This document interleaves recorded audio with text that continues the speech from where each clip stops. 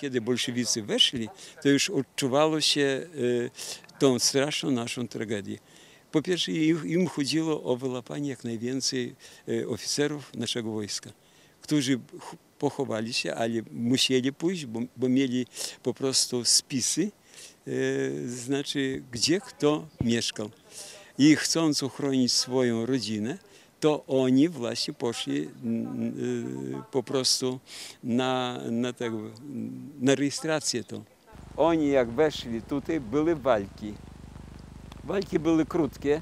Słyszeliśmy całą tą noc e, 18 na 19, słyszeliśmy jak, jak były e, te, te strzelanina, strzelanina ciągle i artyleria.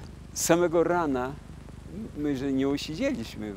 Przez podwórka, przez tego, aż do mostu Zielonego doszliśmy i tam wszystko widzieliśmy, jak to wszystko. Jak zaczęli ostrzeliwać ten e, kościół, pocisk jeden uderzył, a drugi uderzył w, w, na górce, e, znaczy na cmentarzyku, górka ta była przy tej kaplicy, co na górze, to e, właśnie pocisk uderzył w kaplicę samą.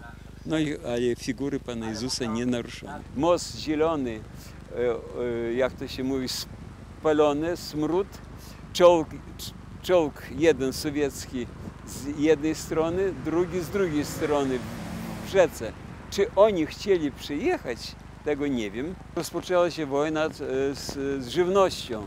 Kolejki przecież zaczęły się. No nie, nie, żywność trzeba było zdo- zdobywać e, nie wiadomo skąd. Przecież nie było żadnych sklepów, że oni rabowali wszystko, co udawało się.